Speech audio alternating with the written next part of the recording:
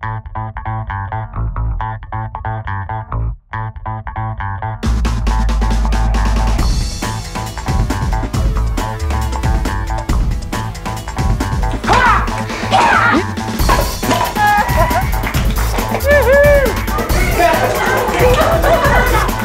forget to think about your problem while you're doing this. so, what is it that stuff we're doing here again? Your clients are diamonds. And the process of coaching is bringing them back to their truth.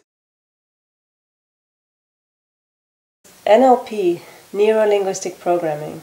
What is that? Essentially, it's a field of study that explores how we do what we do inside our minds and how what we do inside our minds determines our experience of life, of what's going on out there.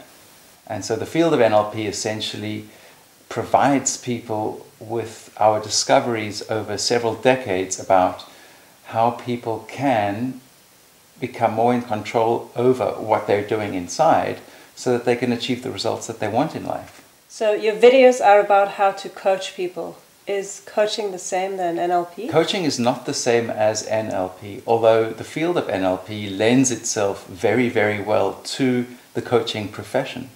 Because intrinsic in NLP is understanding what goes on inside people and facilitating change at the unconscious levels so that we can go through life in the situations perhaps where we've had problems before now just as automatically as our reactions once were, new behaviors, new thoughts, feelings, and responses to those formerly difficult situations are now just as automatic as the old unconscious impulses that drove the old unwanted feelings and behaviors.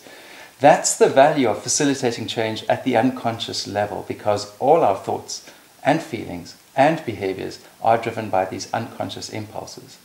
So, because NLP facilitates change at that level of consciousness and does so conversationally, it lends itself perfectly well to the coaching profession.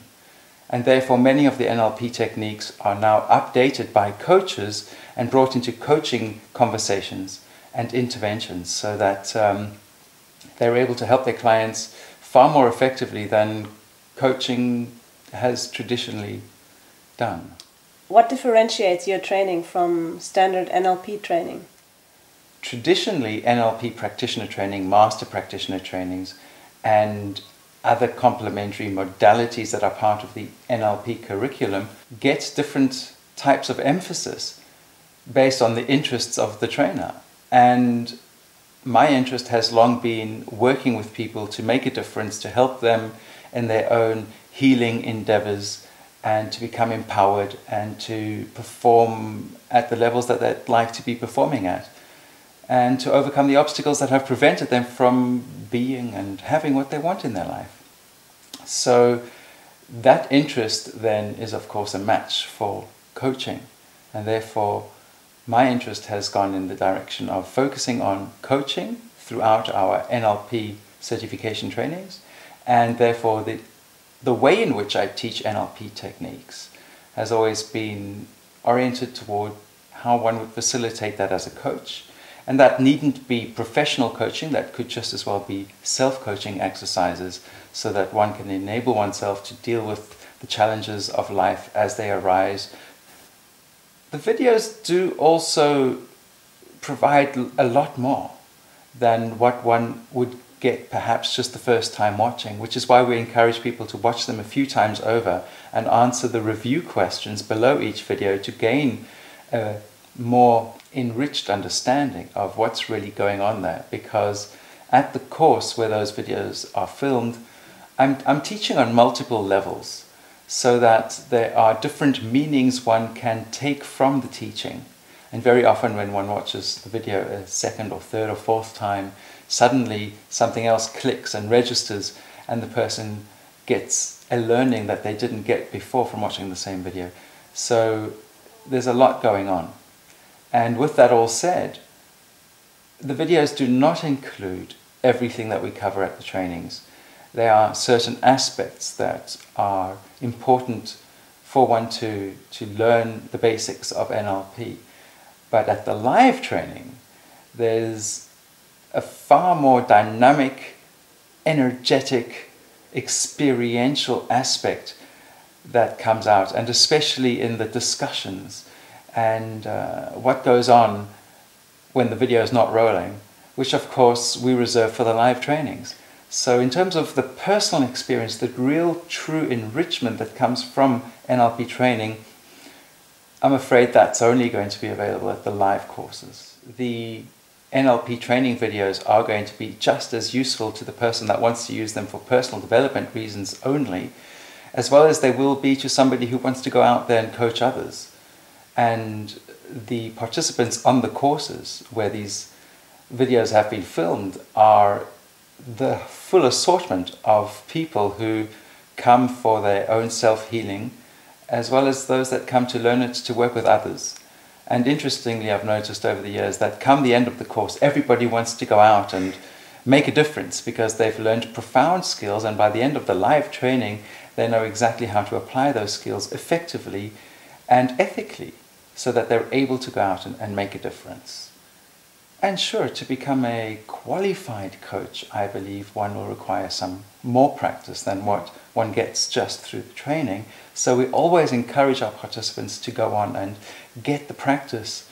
And while they're integrating their learnings post course, we're providing ongoing support and supervision until they feel ready to go out there and start doing the work. I have focused over the years on demystifying concepts in NLP that seem a little bit exotic, perhaps, in terms of psychological processes or difficult to comprehend. I like to make complex processes easy for people to learn. And there seems to be a lot of controversy about NLP out there, about the programming and neuro linguistic programming. Can it be used to manipulate people? I think people should be a little bit suspicious about some of the claims being made by NLP people out there.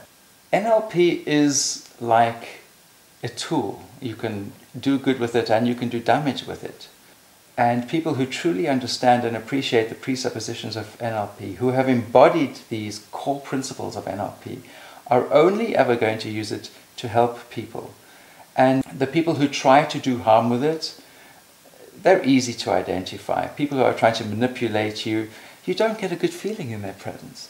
Mm. You know, they might say strange things and sound awfully convincing, and I would suggest to anybody who's considering to do NLP training, you know, how is it to be in the presence of the NLP person that you might like to learn from?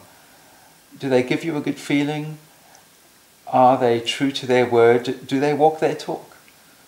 And what has inspired me over the years is a development within the field of NLP that began to emerge in the USA in the early 90s called humanistic neuro linguistic psychology, HNLP, a branch of NLP that got co developed by John Overdurf and Julie Silverthorn, master trainers of NLP. HNLP, although it brings with it its own set of techniques, is much more than the techniques. The H stands for humanistic primarily. It also stands for heart. It also stands for holistic.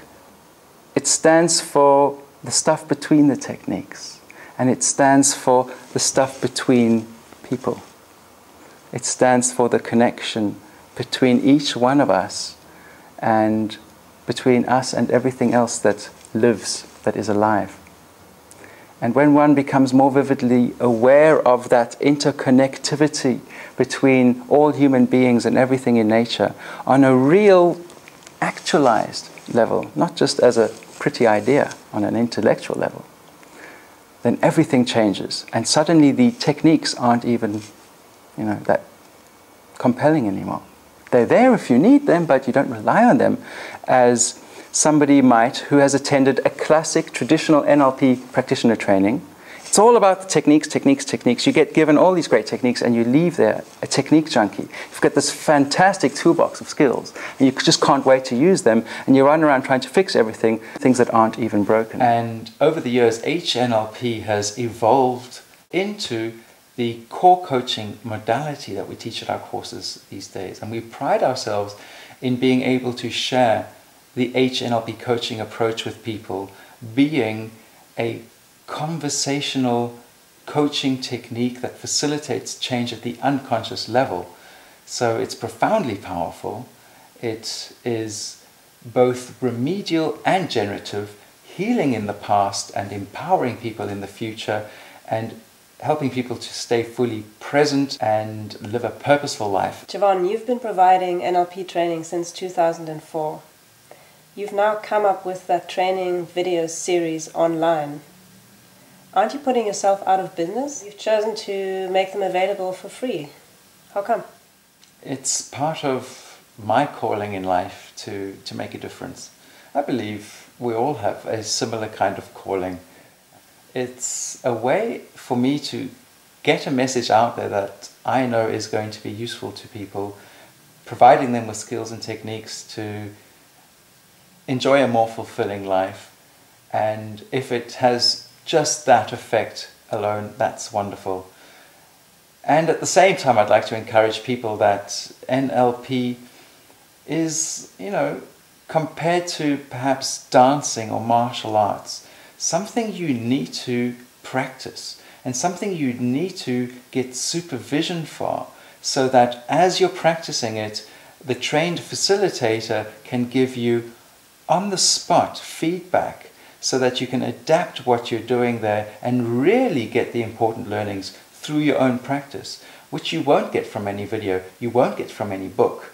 Because if you've ever tried to learn ballet from a book, you'd realize that you might fall over your own feet.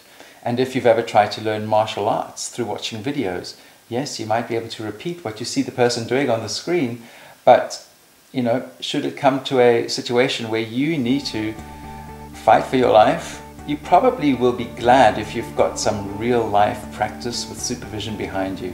And the same applies to NLP and any form of psychological training that one might go through. The live training is important and especially plenty of supervised practice as part of that live training. I say that because I know of other people providing live training and it's still purely theoretic with very little practice. And therefore, we really do like to make sure people get various perspectives through a variety of practice sessions that are facilitated for every NLP process and technique throughout the course.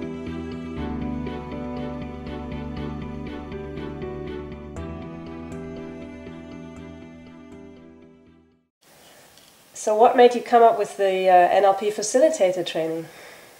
What are your personal reasons to create that program? I suppose my main motivation in putting out a distance learning program for those interested in NLP is because although I do provide live trainings around the world, there are still so many people who can't take time out, can't afford the travel and the expense of a live NLP training and still want to learn it. Mm. And it therefore occurred to me, you know, we've got the internet. Get it out there. Put it in people's hands. And this is the way in which I have thought is going to facilitate that process. NLP Facilitator Training is a distance learning program and it enables people to learn at their own time, at their own pace, in their own place, and of course, that comes at a far cheaper price than traveling to do an accredited live NLP training somewhere. Who is this training mainly for? It's for people who want to get NLP training, comprehensive, thorough training that gets plenty personal attention, but by distance. And that will be people who want to go out and make a difference in other people's lives while being more empowered themselves and having a better know how about how they work on the inside so that they can get better results out there in their life. Release. Full speed. Yeah. Keep moving. Think about what you've done here.